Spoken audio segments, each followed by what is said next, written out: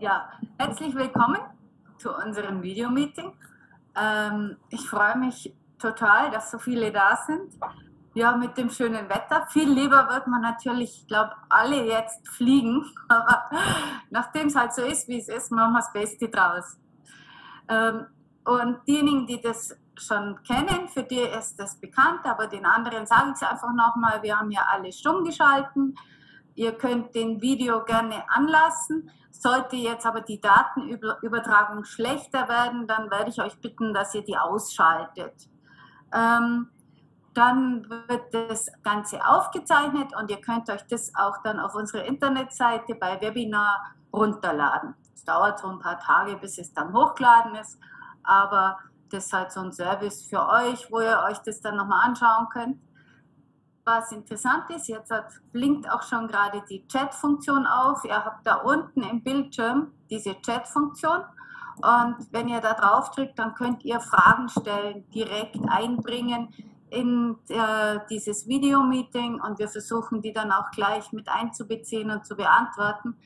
Es ist auch total schön, das macht das Ganze lebendig und also wie gesagt, nützt es gerne. Vielleicht können wir nicht immer alle beantworten, aber wir versuchen es auf jeden Fall. Und dann fange ich auch schon an, dass ich mich vorstelle. Ich bin die Cordula von der Flugschule Aachensee. Ich bin auch Fluglehrerin und Mentaltrainerin. Und ich freue mich total, dass ich heute den Achim als Gast bei uns begrüßen darf. Okay, Achim. Ja, hallo miteinander. Ähm, also zuallererst auch von meiner Seite aus herzliches Willkommen. Schön, dass ihr heute eingeschaltet habt.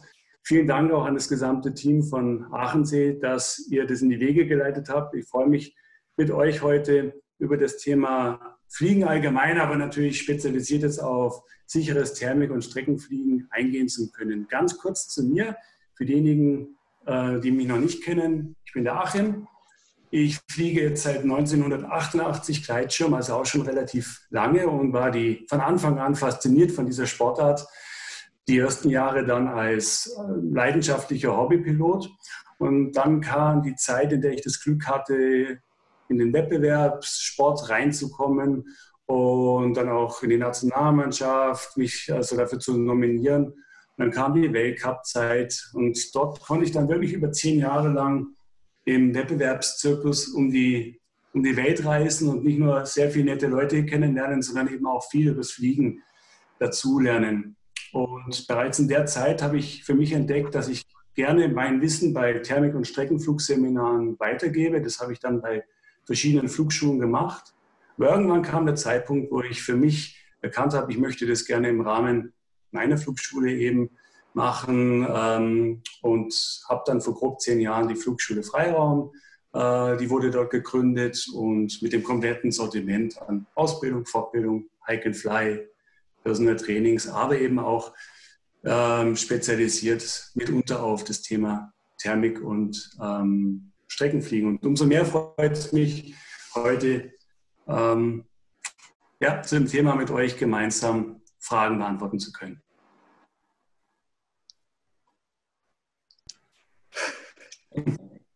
Stefan. Bin ich dran? Okay. ja, herzlich willkommen hier. Ähm, ich darf euch ja immer mitnehmen in die Flugschule Aachensee, weil ich bin nicht direkt in der Flugschule Aachensee hier unten bei mir. Hm, ihr kennt das Bild, ja. ist immer noch das Gleiche. Ähm, genau, ich bin der Stefan. Ich mache auch Sicherheitstrainings hauptsächlich an der Flugschule Aachensee und ähm, ich bin total gespannt, was da heute auf uns zukommt mit Achim und überhaupt über so das, äh, über das Thema Streckenfliegen, was ja gar nicht so sehr unser, also Streckenfliegen an sich, ist nicht so das Haupt, das Hauptpferd der Flugschule Aachensee, würde ich jetzt mal sagen. Also überhaupt nicht. Ähm, wir kommen alle eher so aus dem, aus dem technischen Ziel, wo man da irgendwo dran rumzieht und dann möglichst schnell runter, runterkommt. Ähm, aber ich bin total gespannt eben und freue mich total jetzt auf diese, diesen anderen Blickwinkel, den wir jetzt reinbekommen, ähm, in Bezug auf Streckenfliegen, beziehungsweise das sichere Streckenfliegen. Das sichere Streckenfliegen, das ist ja dann so quasi so die Kombination von technischen Fliegen, Sicherheitstrainings ähm, und dem Streckenfliegen. Genau, und dann gebe ich gleich mal weiter an Simon. Ja, schönen guten Abend von mir auch. Ähm, ja, mir ist wahrscheinlich gegangen wie jeden heute, wenn man rausgesehen hat und die Wolkenbasis gesehen hat. Also auch hier bei mir im Flachland in Nordrhein-Westfalen, da war die Basis heute, ich weiß nicht wie hoch, auf 3000 Meter oder so und eine Wolkenstraße nach der anderen. Also mir hat das Herz geblutet. ähm, ich glaube, heute wären so Tage gewesen, wo man sogar Dreiecke fliegen hätte können im Flachland, weil kein Wind auch noch war. Also wirklich, ähm, nein, fliegen wir jetzt hier. ähm, ja, bin der Simon, mache auch Sicherheitstrainings bei der Flugschule Aachensee. Äh, bin da auch schon recht lange mit dabei. Freue mich immer, wenn die Cordula mit neuen Ideen kommt und äh, ja, bin jetzt auch gerne hier mit euch über Streckenfliegen zu reden. Stefan hat schon gesagt, ja, auch mein Steckenpferd ist eigentlich eher das äh, technische Fliegen, ähm, aber Streckenfliegen tue ich brutal gern, aber nicht wettkampfambitioniert, sondern ich bin auch eher so der, der Spaßflieger dabei und, und suche mir da immer eigentlich lieber schöne Aussichtsrouten als wie jetzt besonders viele Kilometer. Ähm, aber nichtsdestotrotz ist es natürlich total geil, und deswegen freue ich mich jetzt auch vom Achim noch mal einiges zu lernen und ähm, gebe weiter an Ecki. Hey, hallo miteinander. Ich habe heute mein Lieblingst-T-Shirt an. ich weiß nicht, ob man das sieht. Das ist eine Krähe und die hat hinten so einen Bus auf dem Rücken und die ist wahrscheinlich unterwegs zum Thermikfliegen und zum Streckefliegen. Ist total schön, euch zu sehen. Noch, noch habe ich euch so ganz viel auf dem Bildschirm. Hey, wie geht's euch? Wie geht's euch? Ihr kennt das Spiel schon. Ja. Wenn es dir gut geht, zeig mir die Daumen. Wenn es so gut geht, dann bring einfach kurz deinen Daumen dahin. Wie geht's dir? Wie geht's dir? Ihr werdet auch gleich sehen, warum die Frage so wichtig ist. Ja, wie, wie geht's dir? Du bist nämlich systemrelevant. Ja, Heute habe ich mich mit diesem Wort ein bisschen beschäftigt. Ich war heute auch im, im Rofan oben. Wir dürfen seit gestern wieder richtig wandern. Also wir haben jetzt wieder ähnliche Situationen wie in Deutschland auch. Die letzten drei Wochen waren in Tirol ziemlich heftig. Da durften wir jetzt nicht sehr viel machen. Aber heute war ich oben im Rofan und ich kann nur das bestätigen, was Dachim, Stefan, Simon auch schon gesagt haben.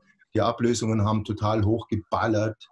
Ja, und ich habe auch gedacht, wow, Jetzt bin ich froh, dass ich keinen Schirm dabei habe. Jetzt muss ich wenigstens nicht fliegen. ja, ein schöner Tag. Ich würde gleich anfangen mit der ersten Frage.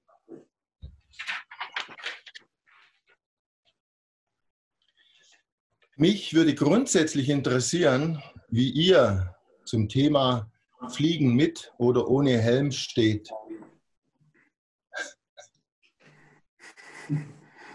Und man könnte natürlich jetzt sich kurz überlegen, was hat das mit dem Thermikfliegen zu tun oder mit dem, mit dem Streckenfliegen zu tun. Es ist eine sehr, eine sehr, sehr persönliche Frage, die hier gestellt worden ist von, von jemand von euch.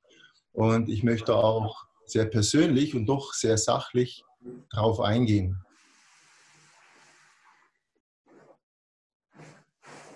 Das Thema heute heißt sicheres Thermik und Streckenfliegen. Als ich heute so im Profan unterwegs war, so zu Fuß, habe ich mir ein bisschen da auch Ideen drüber gemacht oder Gedanken drüber gemacht und bin irgendwann bei diesem Gedanken hängen geblieben, wann ist ein Lehrer ein guter Lehrer? Wann macht eine Flugschule einen guten Job? Und meine Definition von einem guten Lehrer ist etwa die, dass ein guter Lehrer, ein guter, hm, ein guter Coach, jemand, der, der versucht, jemand anders etwas beizubringen, ist für mich ein sehr guter Lehrer, wenn es ihm gelingt, sich so schnell wie möglich zurückzuziehen, bei, dem, bei demjenigen zu sein, den er betreut, den er unterrichtet, egal in was, und dann nimmt er sich nach und nach zurück, so dass der Lernende irgendwann alleine ist, seine Entscheidungen alleine trifft und völlig selbstverantwortlich für sich selber agiert.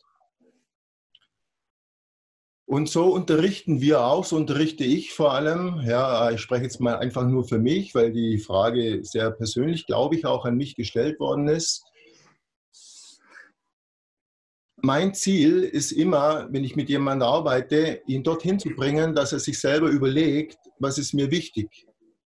Und die meisten von euch kennen die drei Fragen, wenn wir am Startplatz oben stehen. Egal, ob es zum Thermikflug ist oder zum Streckenflug ist, ob es ein Abendflug ist oder in die aufgehende Sonne, ob wir mit einem Singleskin unterwegs sind oder mit einem dicken, fetten Liegegurtzeug. Die Frage am Startplatz ist ja immer, wie ist das Wetter? Wie fit? Bin ich? Und ganz wichtig, was will ich wirklich? Und wenn wir diese Fragen für uns recht ehrlich beantworten, dann bleiben wir bei der letzten Frage dort hängen, dass wir sagen, ich will mich nicht verletzen und ich will Spaß haben. Ich will Spaß haben an diesem Thermikflug, der vor mir ist. Ich will Spaß haben an diesem Streckenflug, der vor mir liegt. Ich will Spaß haben bei diesem äh, Gleitflug, weil die Luft ist total stabil. Ich habe vielleicht nur mein Singleskin dabei. Und Jetzt ist natürlich auch die Frage, was lässt mich sicher fliegen? Und meine Meinung ist ganz kurz auf diese Frage einfach die, es spielt keine Rolle, welche Schuhe du anhast. Es spielt keine Rolle, welchen Gleitschirm du dabei hast. Es spielt auch keine Rolle, welches Gurtzeug du dabei hast, ob du ein Liegegurtzeug dabei hast oder ein Sitzgurtzeug dabei hast. Es spielt keine Rolle, ob du einen Integralhelm aufhast oder einen Halbschalenhelm oder Pudelmütze, sondern wichtig ist, dass du so fliegst und so deine Entscheidungen triffst, dass du abends gesund heimkommst. Und das ist die, der Inhalt, den wir so versuchen zu transportieren. Und das heutige Thema sicheres Thermik- und Streckenfliegen, der Stefan hat es vorher kurz angedeutet, hat sehr, sehr viel mit unserer Hauptarbeit zu tun im Sicherheitstraining. Weil wenn wir zum Beispiel nicht spiralen können, dann macht es einfach keinen Sinn, auf Strecke zu gehen. Ja, so würde ich die Frage beantworten. Ein bisschen weit ausgeholt. Aber ich gebe jetzt weiter an dich, Stefan. Ja, das, äh, wenn ich dann noch einen Satz dazu sagen darf, dann deine Worte, um deine Worte aufzugreifen oder deine Gedanken, das ist, finde ich, das bedeutet für mich auch die Faszination eigentlich am Gleitschirmfliegen, weil es gibt da, du bist immer für dich selbst verantwortlich. Jede Entscheidung, die du triffst, egal ob du jetzt mit Helm fliegst, ohne Helm fliegst oder wie auch immer, egal ob du jetzt Thermik fliegst oder Akrobatik fliegst oder sonst irgendwas, bist immer für dich selbst verantwortlich. Und dieser Appell an die Eigenverantwortung, den finde ich einfach genial, weil nirgendwo, also ich kenne keine andere Sportart zumindest, wo man so mit sich selbst konfrontiert wird, beziehungsweise mit seinen Entscheidungen auch so direkt konfrontiert wird. Du entscheidest dich, irgendwas zu tun, irgendwo hinzufliegen, irgendwas, was auch immer, und du kriegst sofort im Prinzip dann ähm, ja, die Antwort drauf, die Resonanz. Und es gibt nie jemand anderen, der für dich da in die Bresche springen kann oder der verantwortlich für dein Tun ist oder für dein, für dein, für dein Fliegen, um es jetzt mal aus Gleitschirmfliegen zu bringen, das gibt es einfach nicht. Ja, es, gibt's, es gibt nicht die plötzlich auftauchende CB, es gibt nicht den, ja, plötzlich, der da endlich jemand reinfliegt, da können immer zwei dazu oder, ja, das ist einfach, finde ich, das, das wirklich Coole am Gleitschirmfliegen, ja. Ob ich jetzt mit Tretter fliege, barfuß, kannst du schon machen. Du musst halt wissen, was du tust. Ja. Genau.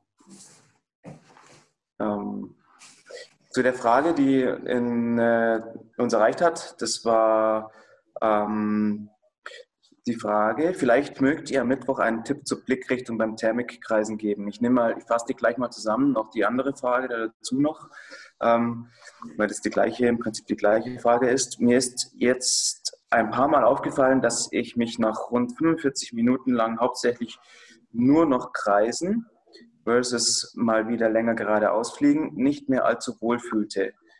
Womöglich, weil ich meinen Blick zu lange, zu oft auf mein Vario gerichtet hatte. Hatte es bis vor kurzem bewusst auf lautlos eingestellt, weil mich das Gepiepse eigentlich nervt. Ja, das ist eine super interessante Frage. Ja, wo schaue ich denn hin beim Thermikkreisen? Ähm, und vor allem der Zusatz der da ganz am Ende dazu kommt, ähm, weil ich meinen Blick zu lange, zu oft aufs Wahre gerichtet habe.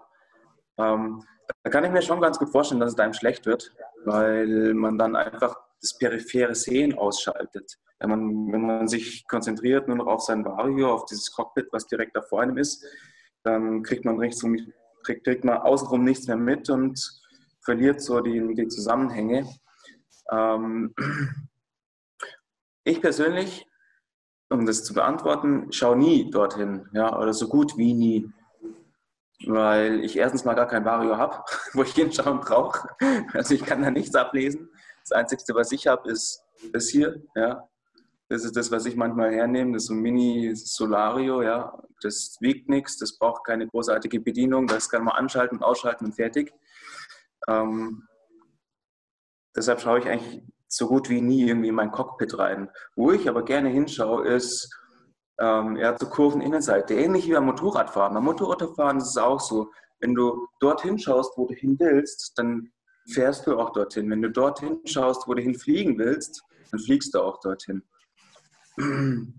Und ich würde es aber gar nicht so konkretisieren, dass du sagst, ja, immer dort auf den inneren Stabilo oder immer genau dorthin, sondern ich schaue auch da gern rum. Ja, das ist dann, dass ich dann mal auf die Gegenseite schaue. Das kann durchaus, kann man das durchaus machen. Man muss natürlich das üben, aber ähm, ich würde mich da nicht versteifen auf einen, einen Blick. Ja. Aber so zur Kurveninnenseite finde ich tendenziell nicht schlecht. Ja. Simon, ich gebe mal den, das Wort an dich. Über was, wo schaust du hin oder was kannst du für einen Tipp geben bei, in Bezug auf die Blickrichtung?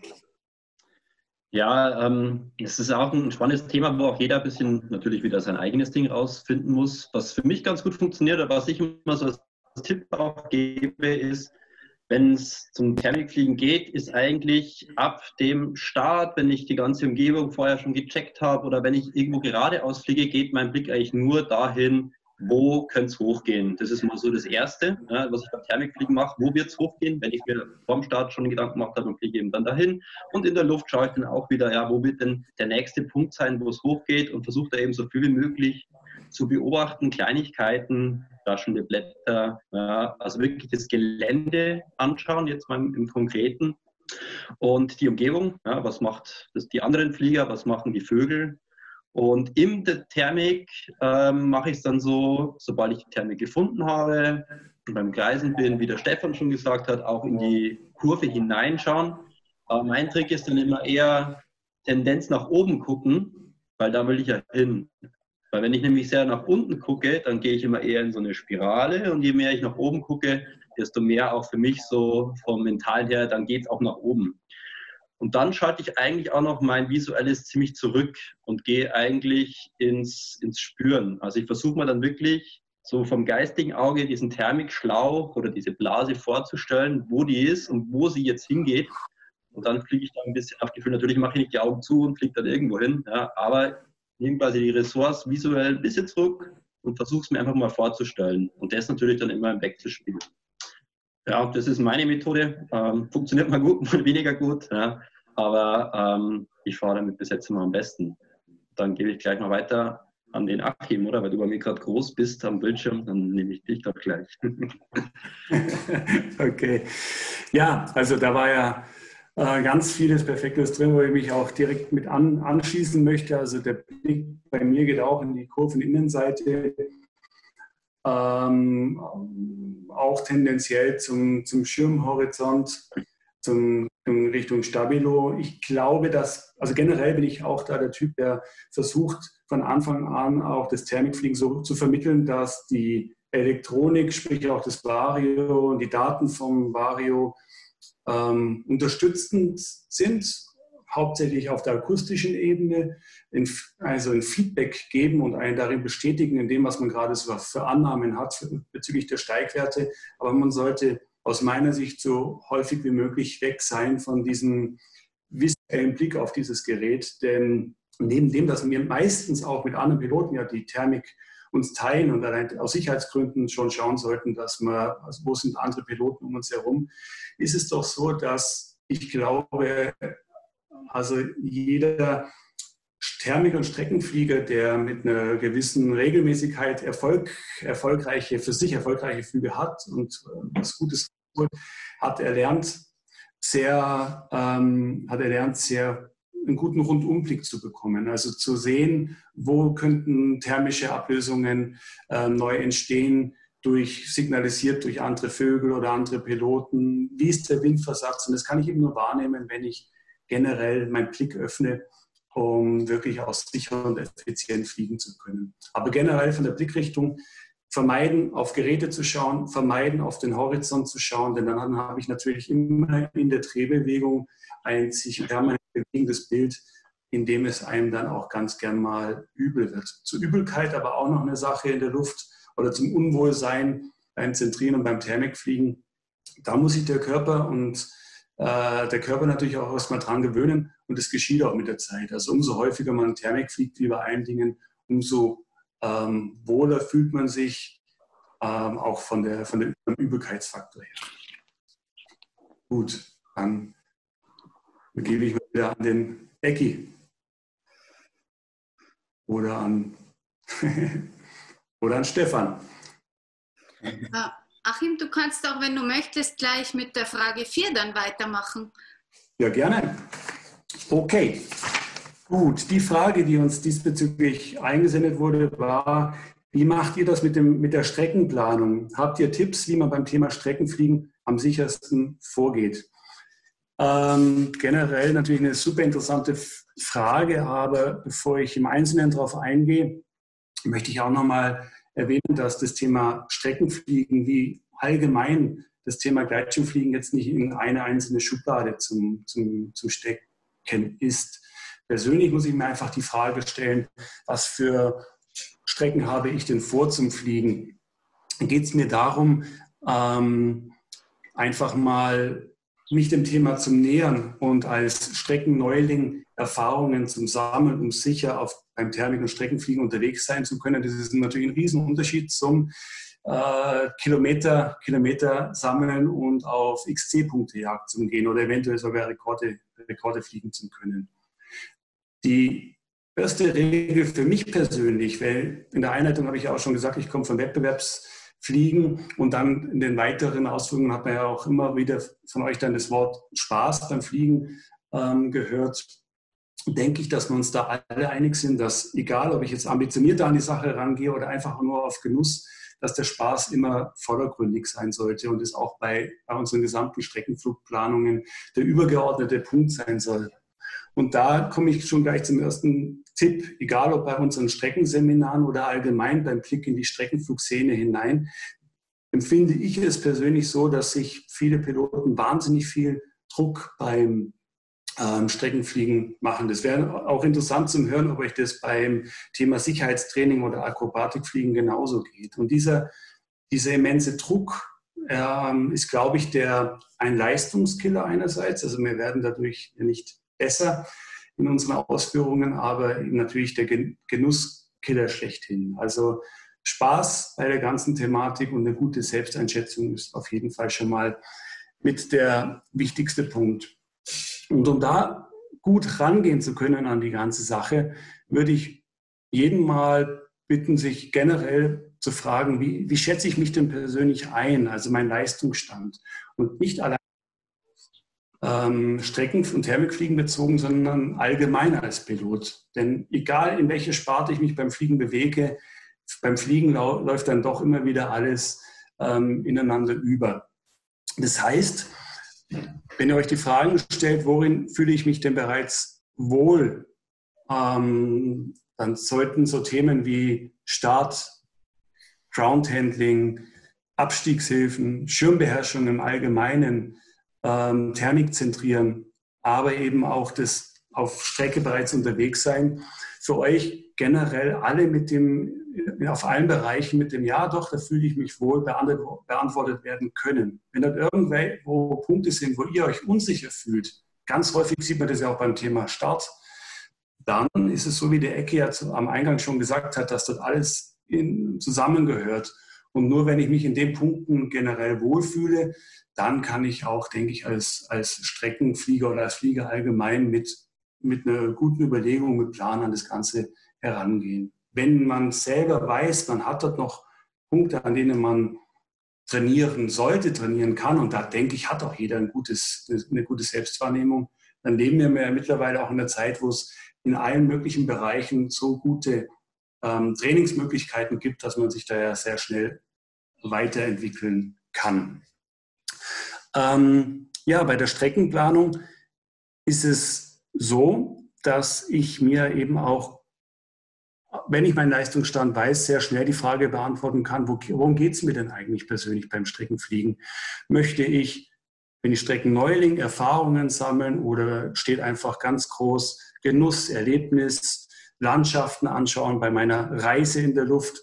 Oder geht es mir auch wirklich irgendwann um dieses ambitionierte ähm, oder vielleicht sogar irgendwann um, um Kilometer- und Rekordjagd. Das sind natürlich generell sehr unterschiedliche Themen. Wir haben heute ja das Thema sichere Strecken und Thermikfliegen, also womöglich auch eher mal Einstieg in die ganze Thematik herein. Und da würde ich euch auf jeden Fall empfehlen, sucht euch ein oder mehrere Gebiete aus, die ihr Punkt 1 schon relativ gut kennt vom Fliegen, in denen ihr euch wohlfühlt und die auch zum Streckenfliegen erlernen gut geeignet sind. Also dass man sich aufgrund vom Gebiet her dort schon mal erleichtert. Und dann einen für mich persönlich wichtigen Spruch bei der Streckenflugplanung geht Sicherheit immer vor Effizienz. Das bedeutet, wenn ich also so meine Karte ausbreite oder auf Google Earth eben anschaue, dass ich für mich persönlich in einem überschaubaren Kilometerrahmen mir für verschiedene Wetterlagen ähm, Streckenflüge plane und ausdenke und beginne mal wirklich, mich auf die Suche zu machen, wo potenzielle Gefahrenpunkte sein könnten. Sei es Legebiete, ähm, aber natürlich auch Regionen, in denen, mit denen man nicht gut mit, mit keiner Thermik zu rechnen hat und sich so gedanklich schon mal so rote Xe in die Landkarte reinmarkiert, wo man für sich persönlich weiß, da habe ich, egal bei welcher Situation, generell mal nichts verloren. Das Ganze geschieht natürlich aufgrund von Gebietskenntnissen, aber eben auch von Tipps von Fliegerkumpels etc. Und erst dann gehe ich her und mache mir aufgrund von meinem theoretischen Wissen und vielleicht eben auch schon Gebietskenntnissen die Überlegungen aufgrund der Hangausrichtungen, wo sind denn die Stellen, wo ich vorhabe, ähm, hin zum Fliegen aufgrund der Hangausrichtungen etc., wo ich gute Chancen habe, eben thermische Ablösungen zum ähm, Finden und wieder an Höhe zu gewinnen und weiter zu, weiter zu fliegen. Ähm, generell wäre es dann eben auch wichtig, in meinen Flugplan gleich noch so Regionen mit einzubeziehen und das Gebiet auch dementsprechend auszusuchen, wo, dass ich mir Gebiete aussuche, wo ich vielleicht auch bestimmte Abschnitte aufgrund von Hangverläufen oder auch Konvergenzen, wo ich teilweise über eine bestimmte Distanz gar keine große Thermikquellen nutzen muss, sondern auch horizontal aufgrund von einem Hangverlauf einfach schön Kilometer sammeln kann, die mehr oder weniger geschenkt sind, wenn man gar nicht ähm, großartig nach Thermiken suchen muss, weil sie einfach, weil sie einfach vorhanden sind. Und eine Überlegung, die ich bei unseren Leuten, die Strecken fliegen, noch erlernen oder verbessern wollen, auch immer wieder sage, macht euch bitte Gedanken darüber, wie äh, viel Zeit ihr benötigt, um euer Streckenvorhaben für den jeweiligen Tag umzusetzen. Und ich denke, ein guter Richtwert, den braucht man natürlich nicht gleich am Anfang fliegen, aber ist so eine Durchschnittsgeschwindigkeit von grob 15 km/h, wenn man sich dem, dem Thema Streckenfliegen nähert als Ziel oder wenn man schon eine Zeit lang Strecken fliegt, eben so grob einen Schnitt von 15 km/h, um wirklich safe und sicher unterwegs zu sein. Wenn man dem Thema gegenüber schon ein bisschen mehr Erfahrung gesammelt hat, dann kann man natürlich auch 20 km/h Schnittgeschwindigkeit oder auch noch mehr fliegen. Und wenn wir uns das mal hochrechnen, wenn man ehrlich ist, die meisten von uns, den reicht es doch nach grob drei, vier, fünf Stunden Fliegen. Dann haben wir schon mal so eine, ein Ausmaß, wo wir eben genau das, was ich gerade gesagt habe, auch umsetzen können, Strecken in dem, in dem Ausmaß suchen und uns gedanklich die roten X setzen, wo wir in welchen Regionen wir aus Sicherheitsgründen gar nichts zu suchen haben und eben auch die roten Punkte, in denen wir eine größtmöglichste Chance haben, uns als Streckenpilot, Thermik- und Streckenpilot safe zu bewegen. Simon, hast du vielleicht noch Ausführungen und Ergänzungen? war ich gerade am Schreiben, jetzt hast du mich ertappt. Oh, Entschuldigung. ich hatte mich da gerade die Frage mit der Konvergenz noch beantworten, aber dann mache ich das doch kurz. Mhm. Ähm, und zwar hat einer im Chat geschrieben, was beschreibt denn eine Konvergenz beim Fliegen? Konvergenz ist einfach, wenn mehr Luftvolumen zusammentrifft und dann eben aufgrund dessen, dass unten Boden ist, nirgendwo hin kann, als wie nach oben. Ja, wie wenn zum Beispiel zwei Talwinde aufeinandertreffen, dann entsteht eine Konvergenz, eine großflächige Hebung und äh, dadurch ja, kann man da einfach entlang fliegen in diesem Bereich und diesen Aufwind oder das verringerte Sinken einfach ausnutzen. Ja, das wäre jetzt noch die Frage mit der Konvergenz. Ähm, ja, sicheres Streckenfliegen. Ähm, der Achim hat jetzt eigentlich jedes schon sau cool äh, beschrieben. Ich habe da immer für mich auch, ähm, oder wie gehe ich daran? Also mein erstes Ding war eigentlich immer erstmal nur Thermikfliegen. Ich habe relativ spät eigentlich erst eine Strecke gemacht oder bin irgendwo hingeflogen, äh, sondern für mich war erst das erste immer, ich will erst mal Thermikfliegen verstehen und dann bin ich auch immer nur in einem Bad geblieben. Sobald ich den hatte, habe ich den einfach stundenlang durchgekurbelt. Ähm, weil ich einfach ja, das verstehen wollte, das erlernen wollte, dieses, dass ich so ein gleichmäßiges Steigen schaffe in der Thermik, das war immer so ein bisschen mein Ziel, dass ich da nicht die ganze Zeit rausfalle oder wieder ins Zentrum hineinfliege. Es gibt ja da unterschiedliche Steigbereiche, ähm, sondern dass ich es erstmal gleichmäßig habe. Und dann beim, beim Streckenfliegen, da ist mir immer der, das Wort dann vom, vom Ecki in den Ohren geblieben, im Nichtschwimmerbereich bleiben. Ja, dass ich eben angefangen habe, ähm, ja, einerseits sehr einfache Gebiete zu suchen. Ja, ich fand es auch in den Alpen ein bisschen einfacher immer, sowas wie das Drautal bei Greifenburg, ähm, wo man mehr oder weniger schon eine vorgegebene Kante hat, die man einfach mal abpflegt und die hat dann immer so kleine Zwischentäler ja, in äh, Nord-Süd-Ausrichtung gehabt und dann hat man quasi immer ein Stückchen mehr mitgenommen und so sich angetastet. Ja, und dann war es auch bei mir meistens bis heute noch so, dass mir auch nach vier Stunden einfach dann bisschen die Lust vergeht. Ja, und dann gehe ich auch lieber landen. Ja, so mal kurz noch dazu. Stefan, du noch? Oder Cordula? Ja, dann, dann komme ich noch kurz dazu. Also was mir geholfen hat, eine Zeit lang ist mir also schlecht worden, dann habe ich immer eine Rolle Mentos dabei gehabt und habe dann immer eins gegessen. Dieser Zucker hat mir anscheinend geholfen, gerade bei Talquerungen. Dann ist mir wieder besser gegangen. Das war gegen das Schlechtwerden bei mir. Und das andere, was ich oft zu Leuten sage, die mich fragen mit, mit Streckenflugplanung und Streckenfliegen, ähm, meiner Meinung nach, also für mich ist es total hilfreich, wenn ich weiß, ich kann in einer kleinen Fläche landen. Weil dann kann ich auf Strecke gehen und kann eben eine Notlandung machen in einer kleinen Fläche. Und das kann ich bei jedem Flug immer wieder üben. Also wirklich den Peilpunkt in der Nähe von meinem Peilpunkt landen, ist für mich eine super Vorbereitung fürs Streckenfliegen. Stefan. Ja, also im Prinzip kann ich mich da euch nur anschließen. Alles, was ihr da gesagt habt, das finde ich, ähm, ich fasse es mal so zusammen, das Fundament fürs Streckenfliegen, das muss halt das sollte solide sein. Das Fundament muss da sein, dass man eben auf kleinerer Fläche landen kann, dass man ähm, auch irgendwo hinfliegen kann, wo man sich jetzt vielleicht äh, noch nicht auskennt, dass man gut starten kann. All diese Dinge, das Ground-Handeln, dass man runterkommt vor allem, ja, das ist das, was wir im Sicherheitstraining ja machen, dass man runterkommt, wenn man runterkommen muss, ja, wenn man schnell runterkommen soll, ähm, dass man sich all diesen Dingen ähm, sicher fühlt und das nicht zusätzlich ähm, Stress verursacht oder Kapazitäten bindet, wo man dann vielleicht ähm, in einen Bereich reinkommt, wo man sich dann eben nicht mehr wohlfühlt oder wo man vielleicht auch ähm, Übersprungshandlungen macht, wo man nicht mehr Entscheidungen trifft, die eigentlich gar nicht mehr, ähm, die man in Ruhe vielleicht richtig getroffen hätte, aber in einer Stresssituation dann falsche Entscheidungen trifft.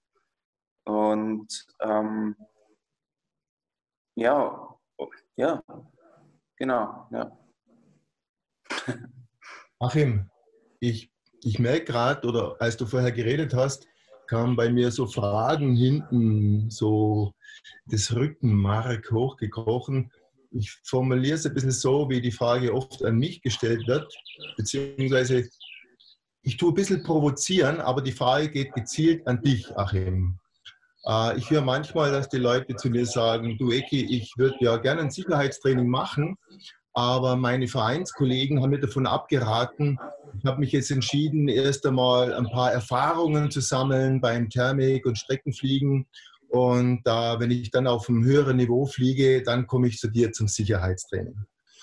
Ich glaube, du weißt schon, wo, wo, ich, wo ich hin möchte. Ja? Ich frage jetzt einfach mal dich gezielt, was ist in deiner Meinung nach so eine Grundvoraussetzung, wirklich als, als Faktum, dass du sagst, dann erst macht es Sinn, Thermik zu fliegen oder gar an Strecken zu fliegen zu denken. Also analog von den Flugfiguren her, vom Sicherheitstraining, äh, gehe ich mal als Beispiel Spirale. Ja. Wenn jemand die Spirale fliegen möchte, macht es ja keinen Sinn, mit jemand gleich eine Spirale zu fliegen, der kein Vollkreis fliegen kann, der keine Acht fliegen kann, der wenigstens nicht die Grundkenntnisse hat von Rollen und Nicken oder vielleicht noch ein bisschen krasser, es macht keinen Sinn, einen Helikopter zu trainieren, wenn man keine Fullstars fliegen kann. Also was würdest du sagen, sind so Basisübungen, die dann so nach und nach entwickeln sich dort und dorthin, damit derjenige irgendwann safe und gut aufgehoben ist beim Thermik und dann eben später auch beim Streckenfliegen.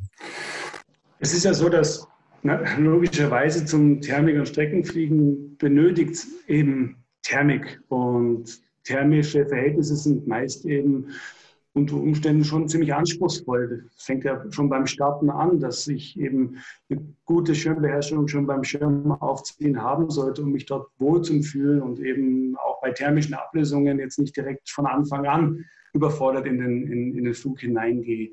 Und dann haben wir das Thema, ähm, was ich eigentlich auch immer anspreche bei, bei unseren Thermik- und Streckenflügen, ist, dass wenn ich wissen will, wie ich hinaufkomme an die Wolke, sollte ich schon zuvor natürlich auch wissen, wenn es notwendig ist, wie ich wieder runterkomme. Es gibt jedem Piloten auch wahnsinnige Sicherheit, denn bei allen Planungen werden wir trotzdem auch manchmal in der Luft vielleicht auch etwas überrascht, auch von Wetter, Wetterbedingungen. Äh, Und da gehört natürlich, um mit dem beim Thermikfliegen äh, sich wohlzufühlen, Punkt eins eine gute Schirmbeherrschung dazu. Da hilft Groundhandling schon mal sehr, sehr, sehr, sehr viel.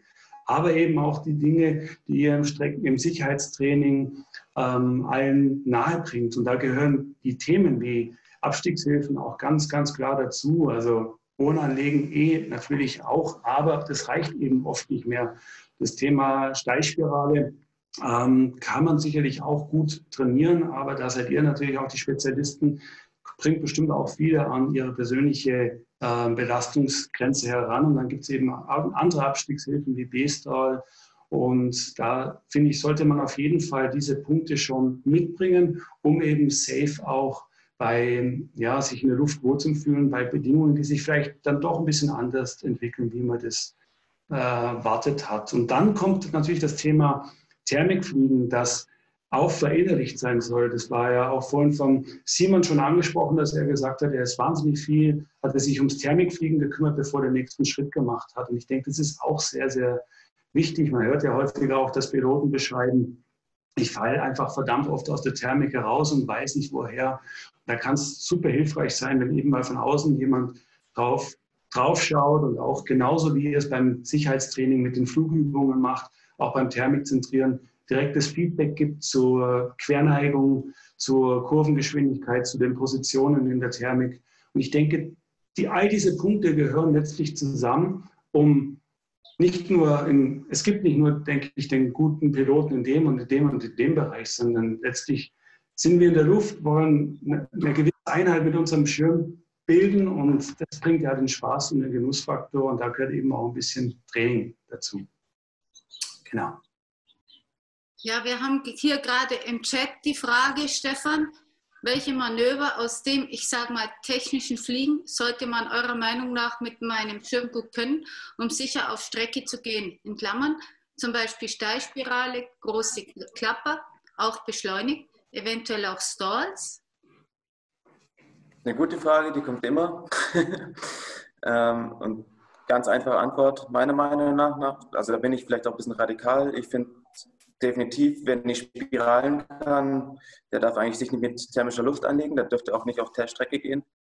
Ähm, große Klapper, ja auch, die kommen früher oder später auch unter Umständen beschleunigt, wobei ich das gar nicht so kritisch sehe, weil also die Klapper besser ist es, die Klapper zu verhindern und dann werden sie auch gar nicht erst, erst groß. Und ganz, ganz wichtig sind einfach diese drei Abstiegshilfen, die wir jetzt auch schon besprochen hatten und erwähnt hatten, jetzt, jetzt heute und auch die letzten Tage, ist die Spirale, B-Stall und vor allem halt auch die Big Ears.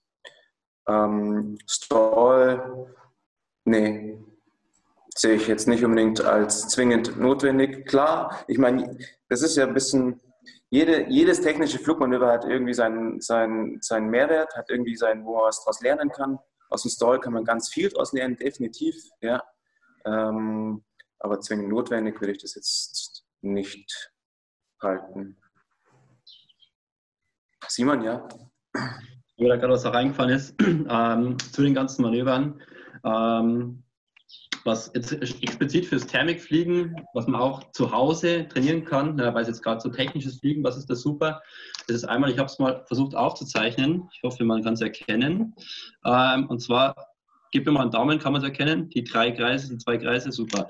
Und zwar ist es die Dreikreisübung, obwohl man nur zwei Kreise sieht, ja, dass man eben einen großen Kreis fliegt, diesen Kreis beschleunigt den Radius verkleinert, ja, die Geschwindigkeit des Sinken erhöht und dann versucht ungefähr wieder die gleiche Schräglage für den größeren Kreis. Ja, das ist diese Übung zum Nachzentrieren, super gut und dann noch anschließend eben das, was man schon aus der, aus der Grundschulung, äh, Grundschulung sage ich schon, aus der Arscheinschulung kennt, aus der Höhenflugschulung, ähm, die schnelle Acht. Ja, und zwar, dass ich eben diese Technik kombiniere nur noch mit einem Richtungswechsel.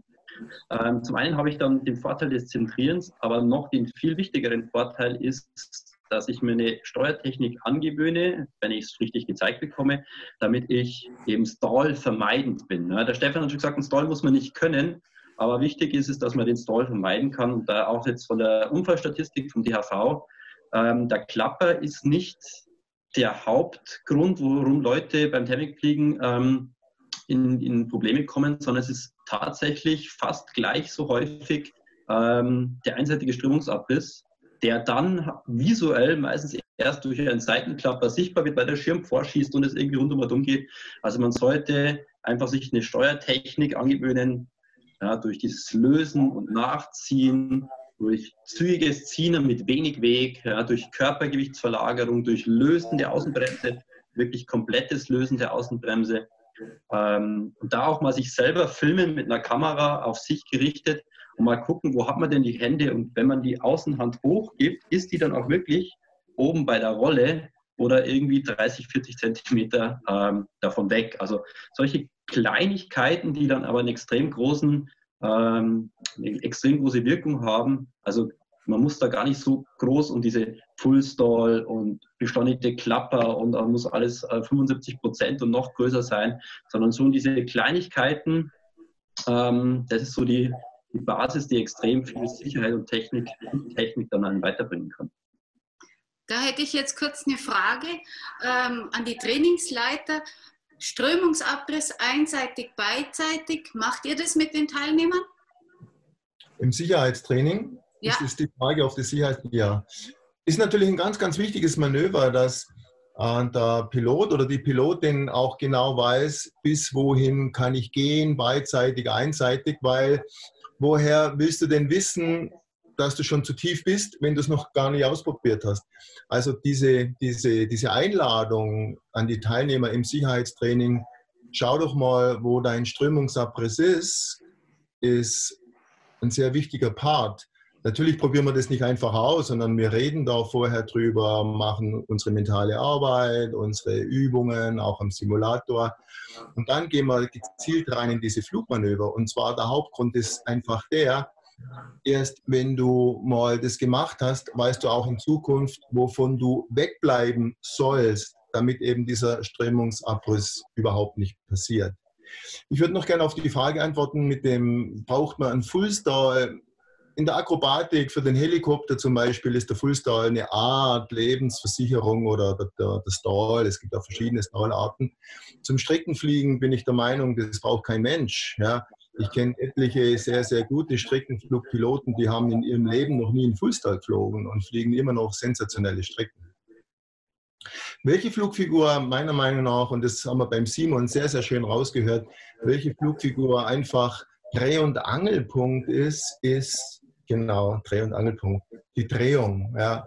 Die enge Drehung wieder flacher machen, wieder enger Drehung, weil die brauche ich zum Thermikfliegen nach oben. Ich brauche sie aber auch dann wieder zum Runterkommen. Ich brauche sie eventuell aber auch, wenn irgendwelche Störungen da sind und der Schirm in eine ungewollte Rotation geht. Also die Spirale ist letztendlich meiner Meinung nach die Flugfigur, wo man nur davon profitieren kann. Achim, wie siehst du das?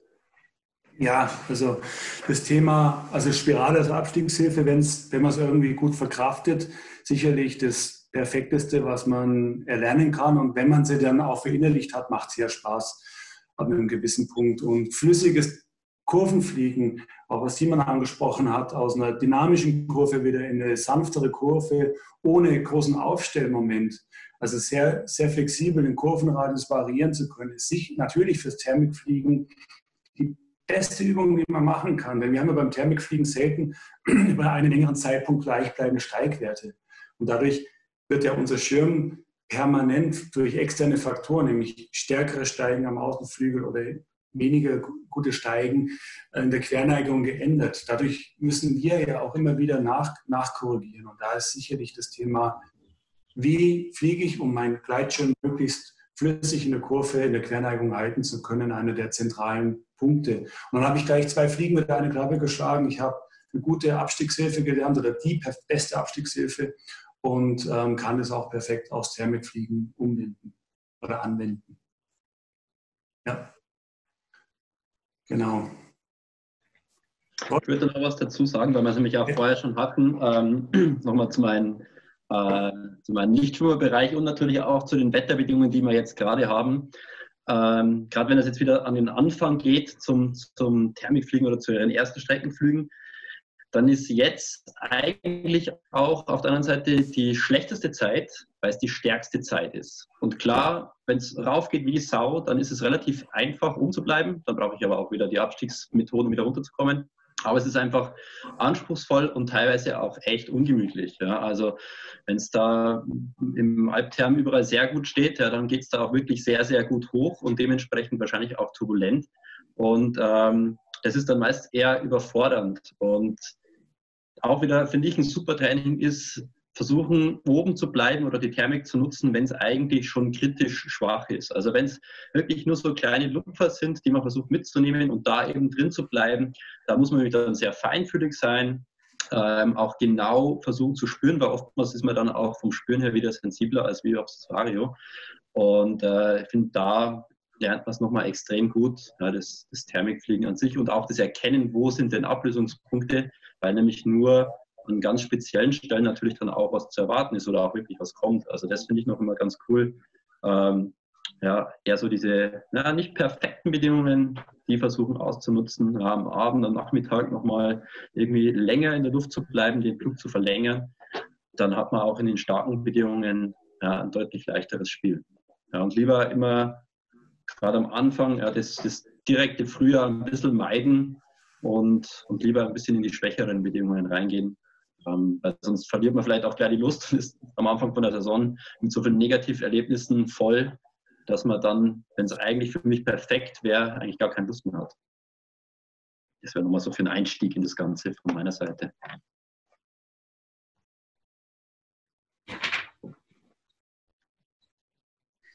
Okay. Dann haben wir im Chat noch die Frage, vielleicht Stefan, magst du wieder einsteigen? Wie äh, steht ihr zum Thema Liegegurtzeug versus Sitzgurtzeug bei drei bis vier Stunden Flug und 50 bis 20 km/h in Bezug auf Sicherheit? ja. ähm, also man muss ganz klar sagen, dass ein Liegegurtzeug in Bezug auf Sicherheit große Nachteile hat. Ja, weil das hat man letzten ähm, Videocalls ja auch schon ganz, ganz häufig, wenn das jetzt mein Gleitschirm ist und ich unten dann hier drin liege, ja, dann ist so ein Liegegurtzeug, dadurch, dass ich unten gestreckt bin, immer träger ist, ja, ähm, weniger sicher, müsste man sagen, ähm, wie ein, wie ein Sitzgurtzeug. Definitiv, ganz klar. Die Twistgefahr ist eine höhere. Es ist generell ein anderes Fliegen. Man muss sich anders, anders bewegen, man muss viel aktiver fliegen. Ähm, und da ist ein Sitzgurtzeug definitiv einfacher. Und auch, auch um mal drei, vier Stunden zu fliegen, da braucht man kein Liegegurtzeug. Man braucht kein Liegegurtzeug, um Kilometer zu machen. Ähm, ja, ist, muss einem schon ganz klar bewusst sein, dass ein Liegegurtzeug auch einfach krasse Nachteile hat. Natürlich hat es eine bessere, eine leicht bessere Aerodynamik, also jemand, der wirklich auf, auf Geschwindigkeit aus ist, auf Kilometer aus, aus ist, ähm, der wird irgendwann mal da nicht mehr drum herum kommen. Ähm, aber das ist die Frage, ob das notwendig ist und ob das derjenige auch wirklich dieses Potenzial von dem Liegegurtzeug auch wirklich ähm, voll und ganz ausschöpfen kann. Da würde ich aber gerne auch einfach mal an Achim weitergeben, weil der ist das sicherlich noch versierter wie ich mit den Liegegurtzeugen, ähm, weil er einfach da viel mehr Erfahrung hat. Also beim, beim generell, Stefan, wie du schon gesagt hast, braucht es natürlich kein, kein Liegekurzzeug. Das, ich glaube, das Wichtigste ist, dass man bei seiner gesamten Ausrüstung, Schirm, Kurzzeug, sich einfach mal pudel wohlfühlt. Der Pilot, der sich unter seiner Ausrüstung wohlfühlt, fühlt, fliegt besser an einem anspruchsvollen Tag wie jemand, der womöglich die leistungsfähigere Ausrüstung hat, aber er sich unwohl fühlt und sich vielleicht ja, ähm, auch mal in bockigen Bedingungen anscheißt, auf gut Deutsch, auf gut Deutsch gesagt. Aber ich persönlich fliege schon sehr gerne beim Thermikfliegen mit einem Liegegutzeug aus verschiedenen Gründen, gerade auch im Frühjahr, der, der Faktor vor der Kälte gut geschützt zu sein.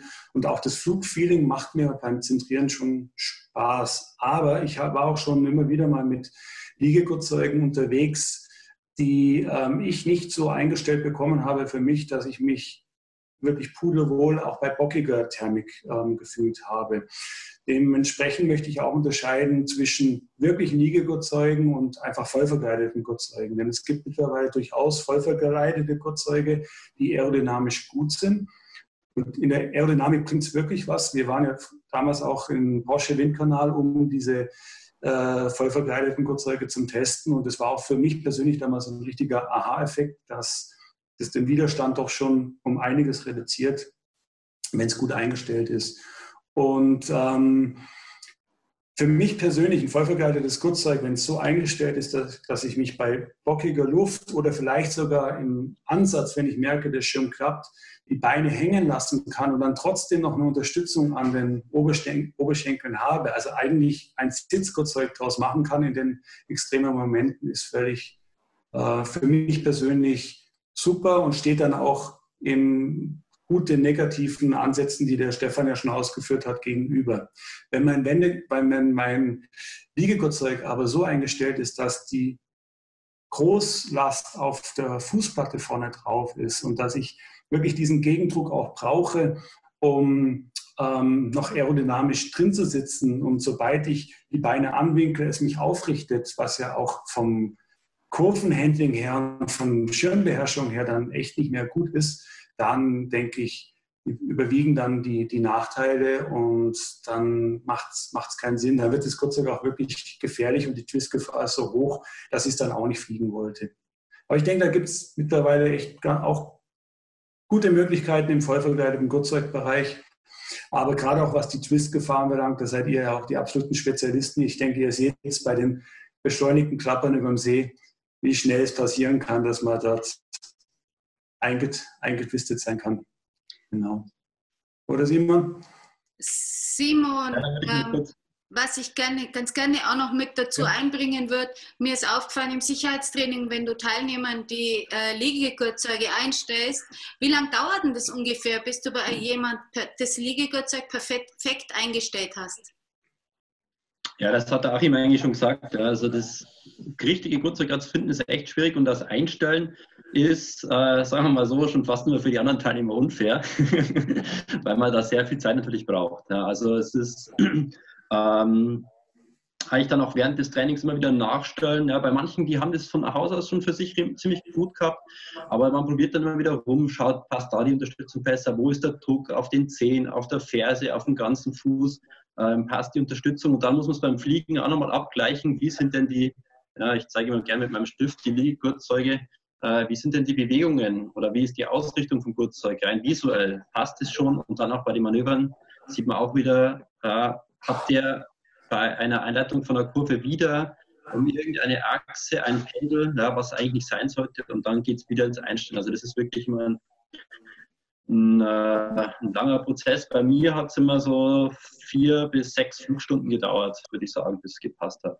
Und da würde ich auch gleich noch ganz kurz aufgreifen, weil die Frage kommt, dass, oder die Aussage im Chat, dass er den Schirm besser spürt. Ähm, Nochmal kurz auch für euch mit die Sitzgurte, probiert es mal aus.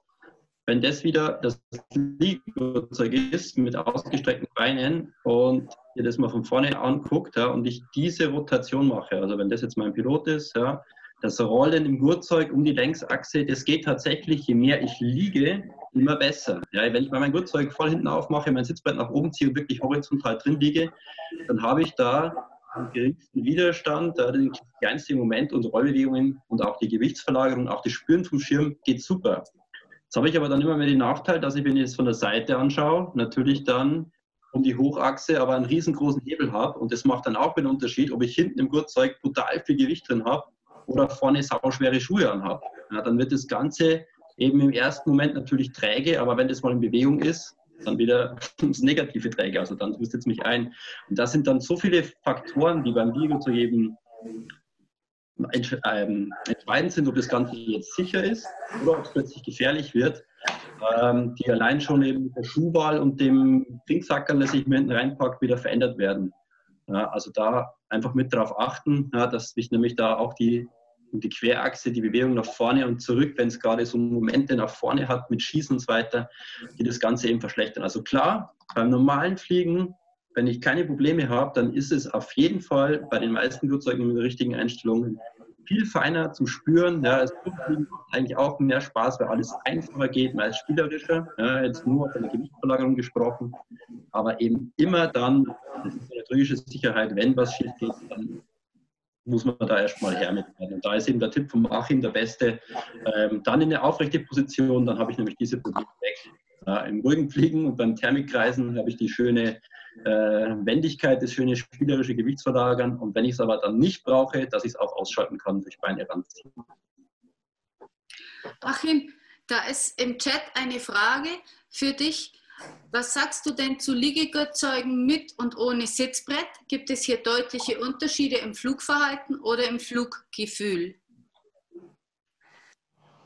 Ähm, ja, also natürlich, wenn, also aus meiner Sicht, wenn ich mit dem Gurtzeug fliege, mit dem Sitzbrett, habe ich einfach ein direkteres Feedback und spüre noch mal ein bisschen mehr. Also da kann bei einem Gurtzeug ohne, ohne Sitzbrett etwas an, an, an Informationen sozusagen, was vom Schirm runtergesendet wird, an, an den Hintern oder an den, an, die, an, an den Rücken, wo wir mit unserem Körpergewicht eben am Gurtzeug anliegen, ein bisschen was verloren gehen. Aber ich finde, mittlerweile haben die Gurtzeughersteller das Breitband so gut drauf, dass wenn ein Gurtzeug gut eingestellt ist, wenn es einfach zu mir gut passt, zu meinem Flugstil, zum, zu, zu, zum Körper, dann ist es mir inzwischen egal, ob dort ein Sitzbrett drin ist oder, oder nicht. Da fühle ich mich dann in beiden, in beiden Varianten wohl. Ähm, wie der Simon ja vorhin schon gesagt hat, ein Gurtzeug oder so ein Liegegurtzeug wirklich gut einzustellen, dauert seine Zeit, weil es einfach viel mehr Möglichkeiten und Dinge zu, zum Beachten gibt. Aber irgendwann sollte da mal der Punkt kommen, dass es auch wirklich passt, dass man für sich merkt, wow, geil, das ist es. Und dann will man so ein Teil eigentlich auch über Jahre nicht mehr oder sollte man dann auch nicht mehr, nicht mehr, nicht mehr hergeben. Aber der Faktor Sitzbrett ja oder nein ist, glaube ich, mittlerweile nicht mehr der ausschlaggebende Punkt, sondern mehr das gesamte Gurtzeug mit all seinen Details.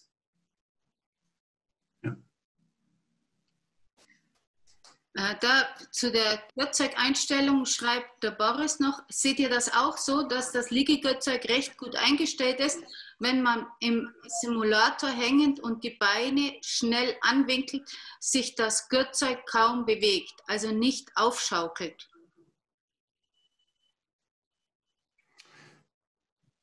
Ja, vielleicht greife greif ich die Frage auf.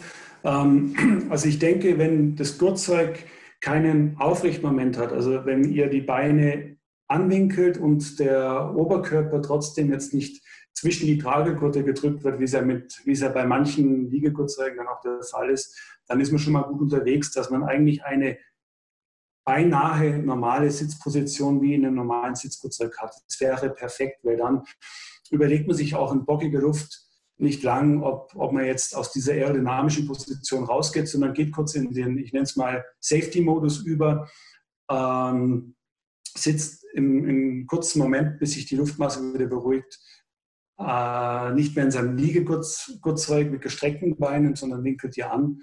Und dann fällt es einem deutlich, deutlich leichter. Also ich denke, das passt so, was der, ich glaube, Boris Hieser äh, so geschrieben hat. Mhm. Aus meiner Sicht. Was denkt ihr? Stefan. Ja, sehe ich auch so. Also, dass man eben dann auch wechseln kann in so einen Safety-Modus, wie du es nennst, dass man nicht das Gefühl hat, man kippt dann vorne raus oder fällt irgendwie so von über. Ähm, und auch ein, ein Tipp vielleicht, weil du, ja, Simon, du hast es schon gezeigt mit dem, mit dem Stift, ich habe auch einen. Ähm, Liegezeichen ist natürlich höchst komplex einzustellen, aber ein Tipp ist ganz, finde ich, ganz hilfreich, egal wie man das jetzt erreicht. Ja. Wenn die Unterseite, wenn das die Unterseite von einem Kurzzeug ist, wenn die Unterseite ähm, nahezu waagrecht ist, ja, zum Boden, also parallel zum Boden, hat man schon eine ganz gute Tendenz, dass man gut eingestelltes Sitzkurzzeug hat, weil dann in der Luft ist dann noch leicht geneigt und dann ist man eigentlich so ähm, mehr oder weniger auf seinem Gleitwinkel. Das ist ja das Ziel letztendlich, dass er mit seinem Liegurzeug so fliegt in die, also dass man direkt auf dem Gleitwinkel ist, dass man den möglichst wenigsten, den geringsten Widerstand hat. Ja. Aber das ist hm, Liegurzeug eingestellt, ob gut oder nicht gut, lässt sich, glaube ich, nicht über Internet beantworten. Was mir jetzt auch auffällt, und da würde ich gerne so ein bisschen in die Bresche schlagen von sehr vielen Zuhörern, die vielleicht die gleiche Denke haben wie ich jetzt. Es geht sehr viel um das Liegegurtzeug oder um das Gurtzeug an sich. Achim, meine Frage an dich jetzt ist, kann ich oder, oder anders, es geht die ganze Zeit um das Gurtzeug. Ähm, wie wichtig ist es denn, dass ich einen guten Schirm habe zum Thermik- und Streckefliegen? Es ging jetzt die ganze Zeit ums Gurtzeug, aber der Schirm ist doch entscheidend, oder? Also die Kombination ist entscheidend und da ist es jetzt auch nicht, nicht so von, von Bedeutung, ob das ein A-Schirm oder ein B-Schirm ist. Also mit dem, alle Schirme, die man mittlerweile aktuell auf dem Markt so bekommen kann, haben mehr als genug Leistung, um, um auf Strecke zu gehen. Außer natürlich, man hat, wie schon ganz am Anfang von unseren Gesprächen ausgeführt, wirklich, wirkliche große Ambitionen. Da muss ich natürlich auch mit meiner Ausrüstung und auf dem Schirm mit, mit reinwachsen. Wichtig ist das Zusammenspiel. Ich, wenn ich mich mit, mit meinem Kurzzeug nicht wohlfühle, kann der Schirm noch so gut sein ich werde keinen Spaß beim Fliegen haben. Wenn mir das Kurzzeug passt und ich komme mit dem, werde mit dem Schirm nicht warm, dann haut es auch nicht hin. Also die, diese beiden Faktoren, die müssen in, mit, miteinander stimmig sein. Und ähm, ja, da gibt es natürlich auch ein paar Dinge zu beachten.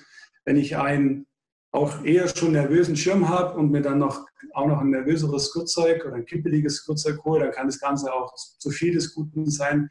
Aber da gibt es natürlich auch viel gute Leute, die euch beraten können ähm, diesbezüglich, dass damit jeder für sich sein, seinen richtigen, seine richtige Ausrüstung findet. Das Allerwichtigste, da bin ich, bin ich mir tausendprozentig sicher, ist aber, was nicht passieren darf, ist, dass man sich durch sein Material überfordert. Und das sind natürlich die, die ist der, der Momentum Schirm, Gleitschirm, Auswahl vom Schirm nochmal wichtiger wie, wie, wie das Kurzzeug. Denn Überforderung hat immer mit, mit ähm, ja, Frust und, und schlechten Erlebnissen zu tun und das ist genau das Gegenteil von dem, was wir wollen. Ja.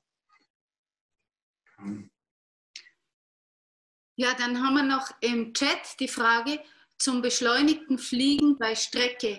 Wie einsetzen und wie kann ich das Gefühl für Geschwindigkeit trainieren ohne viele Geräte, da ich mit möglichst wenig Instrumenten fliegen will?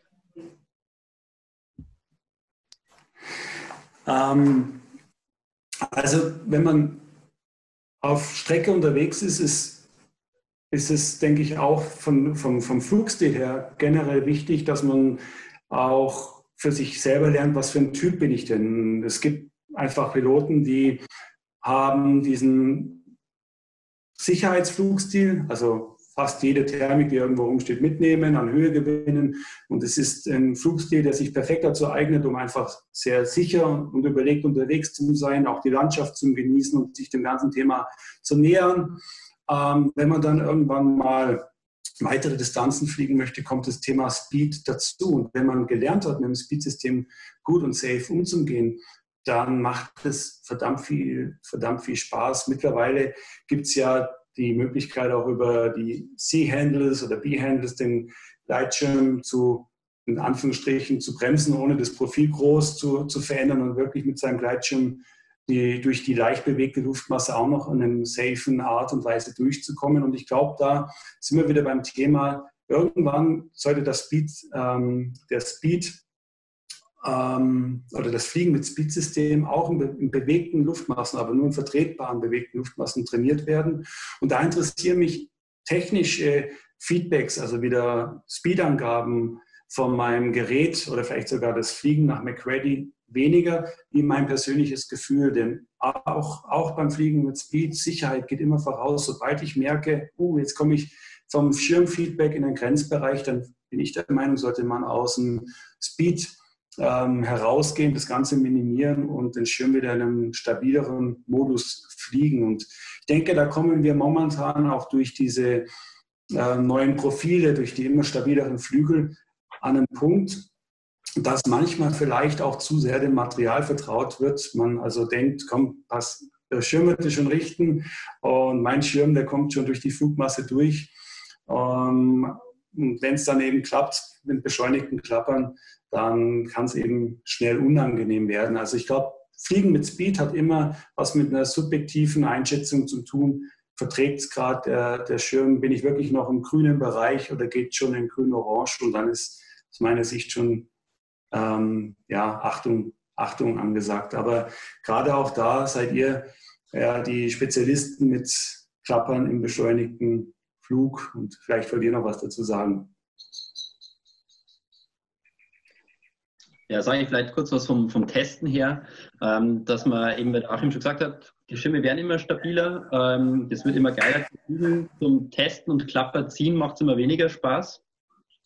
Ähm, gibt einfach Modelle, wo ja, jetzt vor allem im C- oder gar D-Bereich oder speziell im D-Bereich, ähm, wo man das dann auch nicht mehr wirklich sicher trainieren kann. Also einen vollbeschleunigten Klapper mit einem D-Schirm da muss man erstmal schon lernen, wie man den Klapper überhaupt einleitet, dass das Ganze dann noch realistisch wird, ja, ähm, im Sicherheitstraining auch. Also je höher die Kategorie ist, desto schwieriger wird dann auch das Trainieren damit, weil eben die Schirme so detailliert und auch bei der Zulassung schon so speziell zugelassen werden von der Einleitung des Klappers, dass das, dass es noch realistisch wird. Also da ist wirklich ein eine riesen Bandbreite an, an Reaktionen mittlerweile bei den Schirmen. Und deswegen empfehle ich auch wieder das, was der Eckis am Anfang mal angesprochen hat, geht es doch relativ früh mit eurem Material ähm, in den Sicherheitstraining, also solange halt noch ähm, ja, Material fliegt, wo man alles simulieren kann. Und je später es dann hingeht mit den, mit den äh, Hochleistungen und so weiter, oder auch mit den High-Level-B-Schirmen, dass man gar nicht unbedingt die Vollgasklappe trainiert, da reicht dann schon 50 Prozent aus, sondern es geht eigentlich mehr, mehr um diesen persönlichen Ablauf, aber geht nicht mehr so dermaßen in dieses, ich will quasi den Grenzbereich von meinem Schirm und gucken, was da passiert. Meiner Meinung nach war das abschreckende Erlebnis ähm, größer als wie der Lerneffekt. Also gesprochen jetzt wirklich bei den High-Performance-Sachen und dann eben auch nicht zu so viel äh, Vertrauen. Man geht ja, sehr schnell einfach ähm, mehr in dieses komplett Hands-up, in das beschleunigt Fliegen und auch von den Bedingungen her bleibt man da deutlich länger, weil die Schirme einen das eben nicht mehr so, so anzeigen. Also da kann man sich auch auswählen, finde ich nochmal bei der Schirmball vielleicht am Anfang eher einen, der mehr kommuniziert, der am Außenflügel mal noch ein oder andere Mal ein kleines Klepperchen macht, als wie einer, der sich so stabil ähm, anfühlt, wo man gar keine Angst mehr hat, sagen wir mal, weil nichts mehr von den Luftbewegungen reinkommt. weil man dann doch mal schneller tendiert, ein bisschen weiterzugehen, als man vielleicht hätte. Also ich vergleiche es noch ganz kurz mit dem Autofahren. Ja, wenn man ein altes Auto fährt, äh, dann ist 130 auf der Autobahn ähm, das Grenzwertigste, was man sich vorstellen kann. Und wenn man aber einen neuen, modernen SUV hat, der damit fast drei Tonnen 230 geht und man sich immer noch sicher fühlt, dann will man aber da trotzdem keinen Reifenplatzer haben, weil dann geht es halt einfach rund. Ja. Und ähm, so finde ich, sieht man das jetzt auch mit den neuen Schirmen einfach. Man geht schnell, weiter, als man eigentlich vielleicht sicher hängen Da ist jetzt noch eine Frage im Chat. Was sagt ihr denn zur Theorie, dass ein beschleunigter Schirm stabiler fliegt und schwerer klappt, da er schneller ist und daher mehr Druck im Schirm ist? Stefan, magst du vielleicht was dazu sagen? Ja, ähm, gern. Ähm, also theoretisch, wenn man das einseitig beleuchtet, dann stimmt es. Und wenn ein Schirm schneller ist, wenn der Innendruck größer ist, dann wird er auch später klappen. Aber ich verändere halt nicht nur die Geschwindigkeit vom Schirm, sondern ich verändere auch, ich verändere ja auch ähm, den Anstellwinkel. Und dadurch, wenn ich den Anstellwinkel verkleinere, also wenn jetzt die Luftmassen jetzt von hier kommen, das wäre jetzt normaler Trimflug, ja, dann kommt die Luft irgendwie hier von hier leicht unten ja, und wenn ich ins Speed-System gehe, dann kommen die A-Gurte weiter runter, das Ganze wird schneller und es schaut dann extrem jetzt mal so aus. Ja. Das heißt, die Anströmung kommt jetzt auch mehr, wird, der Anströmungswinkel wird kleiner. Und ein Klapper entsteht ja immer nur dann, es gibt keinen anderen Grund, warum ein Klapper eigentlich entsteht, nicht weil irgendjemand draufhaut oder so, sondern weil sich dies, ähm, die Druckverhältnisse umkehren. Ja? Dass jetzt Auftrieb im Prinzip am Untersegel erzeugt wird und dadurch der Schirm auf eine Seite wegklappt. Das heißt, insofern, glaube ich, kann man das gar nicht so pauschal sagen. Bis zu einem gewissen Punkt kann das, kann das sein, aber ich würde das nicht so generell sagen, ja cool, wow, jetzt ist hier voll thermisch, jetzt bockt hier voll rum, okay, ich habe gelernt, ähm, beschleunigter Flug, der ist stabiler, ich gehe voll ins Gas. Das stimmt definitiv nicht. Ja. Also das kann ich so nicht so komplett unterschreiben. Da würde ich aber gerne einfach, dass alle von euch, ein Simon, ein Achim oder ein Ecki, noch was dazu sagen, ähm, weil das ist sicherlich ein super spannendes Thema. Noch ein Wort, das war auch eigentlich gerade so Achims Worte. Ähm, Wenn es irgendwie unruhig wird, dann tendenziell eher natürlich rausgehen aus dem Speed-System, weil das ist was man beobachten kann im Sicherheitstraining. Schnellerer Schirm, Schirm klappt, Klapper größer, ja, eine höhere Geschwindigkeit. Ähm, die Deformationen werden größer und vor allem die Reaktion, also das, was danach passiert, nach dem Klapper, ist immer deutlich heftiger wie ähm, bei einem unbeschleunigten Flug. Ja.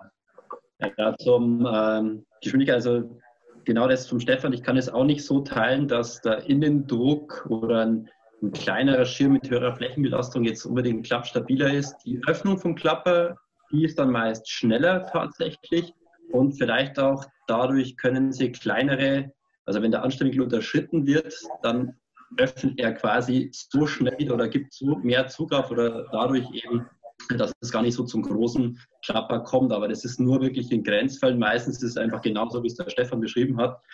Und auch so zur Wahl der Geschwindigkeit auch normale Flugzeuge oder ähm, ja, auch die, die, die kleinen PPL-Maschinen und so weiter, die haben ja auch so ein Speed-Diagramm, welche Geschwindigkeit man wann fliegt. Und da ist es auch so, je turbulenter es ist, langsamer muss man fliegen. Und das kann man sich einfach auch bei uns auf dem Gleitschirm übertragen. Ja, je turbulenter es wird, desto langsamer muss ich fliegen. Natürlich bei uns beim Gleitschirm heißt es dann nicht voll auf die Bremse gehen, sondern einfach nicht im Beschleunigten und nicht hands-up, sondern eben leicht auf die Bremse. Das ist dann ein sichererer Flugzustand als wie Vollgas geben.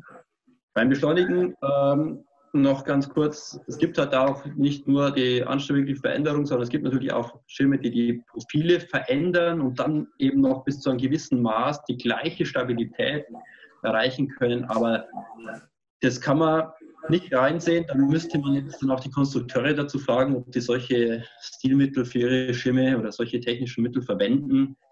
Ja, und ähm, wie gesagt, also das aktive Eingreifen von Piloten ist da deutlich immer im Vorteil als wie die rein technische Hilfe.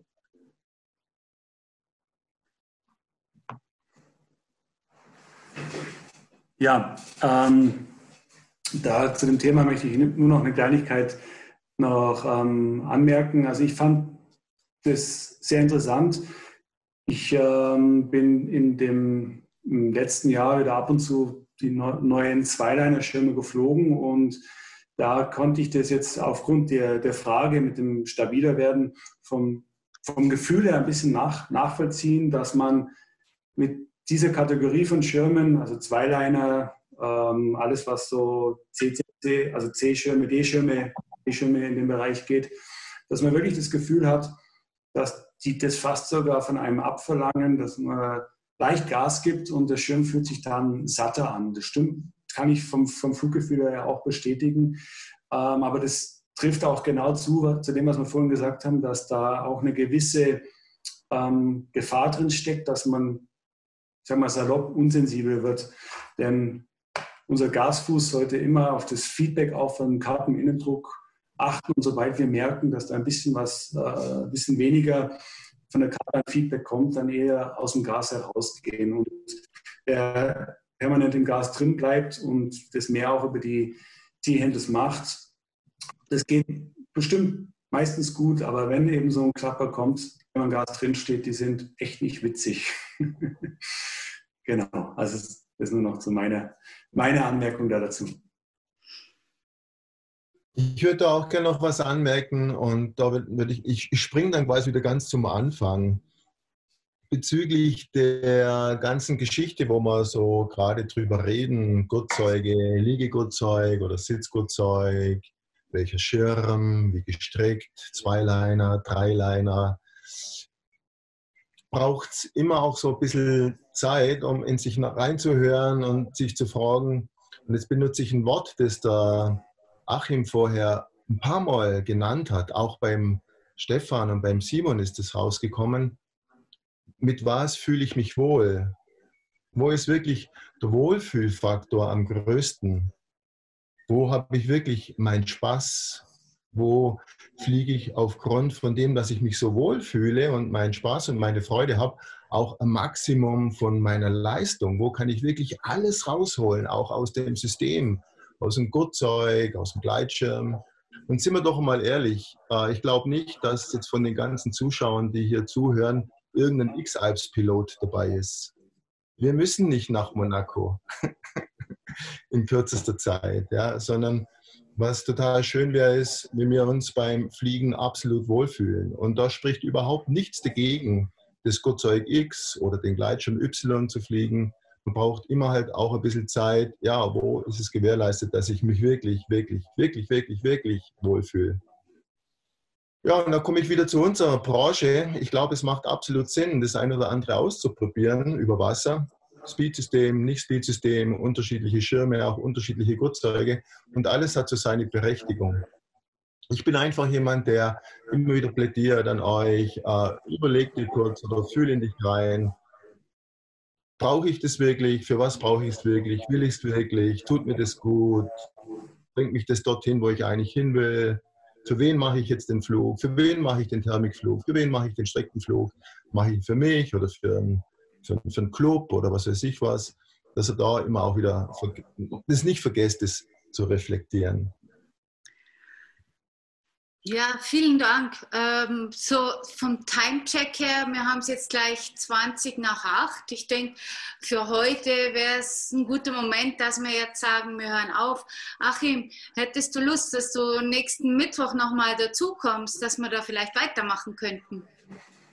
Absolut. Also ich finde es, wie gesagt, eine super Sache von euch, dass ihr das ins Leben gerufen habt. Und von meiner Seite aus, ich würde mich freuen, da wieder dabei zu sein. Und die Zeit ist ja wie, einfach wie Butter zerronnen gerade, ging viel schneller um, wie, wie, wie es sich am Anfang anhört, eineinhalb Stunden. Bin gerne dabei wieder. Auf jeden Fall, vielen Dank. Cool. Dann würde ich vorschlagen, dass wir mit dem Achim am nächsten Mittwoch weitermachen. Und äh, wie geht es denn ansonsten weiter? Wir haben am Samstagabend unser Quiz. Wer das vielleicht noch nicht irgendwie gelesen hat oder mitgekriegt hat, wir haben uns wieder mal was Neues überlegt. Es gibt ein Quiz rund ums Gleitschirmfliegen und weisen da auch auf unsere Internetseite hin.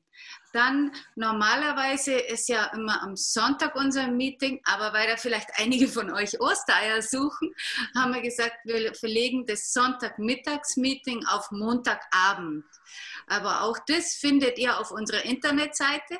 Und dann freuen wir uns jetzt schon wieder, wenn wir mit dem Achim am Mittwoch miteinander wieder über Streckenfliegen weitermachen. Genau, am Montag geht es nochmal um die Rettungsschirme weil wir da das letzte Mal gesagt haben, da sind wir noch nicht so ganz fertig geworden. Wir werden dann auch nochmal auf Fragen im Chat schauen wir uns nochmal an, was wir vielleicht noch nicht beachtet haben, beziehungsweise auch ähm, Mittwoch. Wir haben noch ein paar Fragen zugeschickt bekommen, da werden wir dann auch nochmal uns zusammensetzen und schauen, dass wir die zusammenfassen und darauf eingehen werden. Gut, dann darf ich das Wort nochmal an den Simon geben. Jawohl. Er erwischt mich immer, wenn ich da eine Frage beantworte im Chat. ähm, ja, war super geil. Äh, Achim, vielen Dank, dass du dabei warst. Ich freue mich brutal aufs nächste Mal. Ähm, war echt lässig. Euch schöne Ostern und bis zum nächsten Mal. Gebe ich nochmal weiter an Stefan. Darf ich auch noch was Abschließendes sagen? Ja? ähm, ich fand die Worte eigentlich von, von vom Ecki auch ganz gut und das hört sich dann so esoterisch an oder ähm, aber ich glaube, das kann man ganz gut auch aufs Streckenfliegen oder auf dieses leistungsorientierte Fliegen ähm, projizieren, weil ich der festen Überzeugung bin, dass ähm, wenn man sich wohlfühlt, dass ein Pilot, der sich wohlfühlt, egal in welcher Facette auch immer, ähm, dass der weiterkommt. Ganz so runter reduziert auf, auf Einsatz. Ja, wenn du kein Mario brauchst, ey, umso besser. Ja, wenn du kein Lego-Zeug brauchst, umso besser. Wenn du dich mit, wenn du dem Zeug rumfliegst, mit dem du dich am wohlsten fühlst, dann kommst du auch am weitesten, könnte man so sagen. Ja, wünsche euch auch alle, allen frohe Ostern, fühlt euch wohl. Gehabt euch wohl und wir sehen uns dann am Samstag. Genau. Schöne Tage. Jawohl, Achim? Ah, der Achim. okay. darf, ich, darf ich auch noch, bevor der Achim dann, dann kommt, ich wollte euch noch was zeigen. Ähm, geht es, dass ich meinen Bildschirm freigebe? Cordula, geht es? Moment. Äh, ja. Für die Leute, die jetzt noch da sind, schaut mal. Ich habe hier noch ein Bild. Ich weiß nicht, ob ihr es so erkennen könnt. Es ist ein ganz, ganz altes Foto vom Achim. Er wird dann wahrscheinlich gleich selber noch sagen, äh, aus welcher Zeit es ist. Es war so die Zeit, wo er noch ganz, ganz jung und knusprig war und wo er, wo er noch so voll im Saft war. Nicht, er ist ja immer noch voll im Saft. Und vor vielen, vielen Jahren, ich weiß nicht, sind es 30 Jahre her oder was, aber wir haben uns dann irgendwann kennengelernt. Und dieser Riesenbrackel, dieser, dieser Athlet von, von Mensch, den ich da kennenlernen durfte, beim Gleitschirmfliegen auch, habe ich relativ schnell gemerkt, hey, dem sein Herz geht ähnlich wie, wie, wie meins. Und, und er hat vorher sehr viel von Wohlfühlen gesprochen und von Lust und Freude, auch beim Stricken und beim Thermikfliegen. Und ich freue mich so sehr, dass das geblieben ist. Achim, auch von meiner Seite vielen, vielen Dank, dass du da mit dabei warst. Ich freue mich schon auf, aufs nächste Mal. Danke. Und an die anderen schöne Ostern. Ciao, Pfittei. Ja, vielen Dank, Ecki, für die, für die netten Worte damals noch im, im Saft gestanden. Ja, ähm, dieses Bild hat damals ja der Uli Wiesmeier, Uli Wiesmeier gemacht und ähm, da ging es um, eigentlich um, um eine Sache, dass sinngemäß, wenn man wirklich äh, also weiß, wo sein Ziel ist, dann kann man auch dorthin kommen. Das war so die, die übergeordnete Message und ich denke, das passt auch gut zu dem, zu der ganzen Runde, die wir heute besprochen haben, dass es, es ist gut, sich Ziele zu setzen, aber das ganze, das Über-Über-Über-Thema ist, dass das Hauptziel auch Spaß und Genuss sein sollte. Ich glaube, da sind wir uns alle einig. Ich hoffe, ihr, die alle zugehört haben, seht es genauso. Und ja, wie gesagt, ich freue mich schon auf nächste Woche. Wünsche euch auch allen alles Gute, Gesundheit und freue mich auf kommenden Mittwoch. Und vielen Dank nochmal an das ganze Aachensee-Team für, für die Einladung. Merci. Dann möchte ich mich auch bei allen Teilnehmern bedanken. Vielleicht habt ihr Lust, dass ihr nochmal euer Video anmacht. Es wird ja jetzt schon zum Ritual, dass wir einander nochmal sehen und nochmal winken können.